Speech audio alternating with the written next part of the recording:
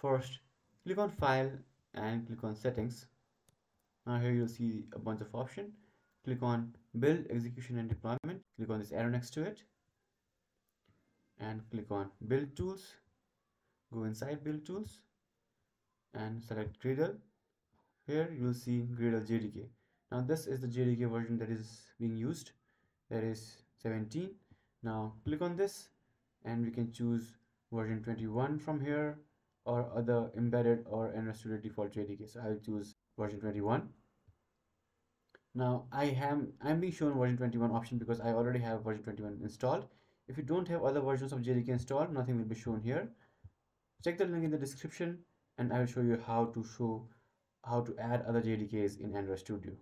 Now just click apply and click OK and your JDK version is changed to Android 21 now you can click on file click on invalidate cache. Now this will invalidate all the cache and restart your Android Studio and your new JDK version will be used. So as you can see it is being restarted again. And now the JDK version being used is version 21 if you have any questions let me know in the comments below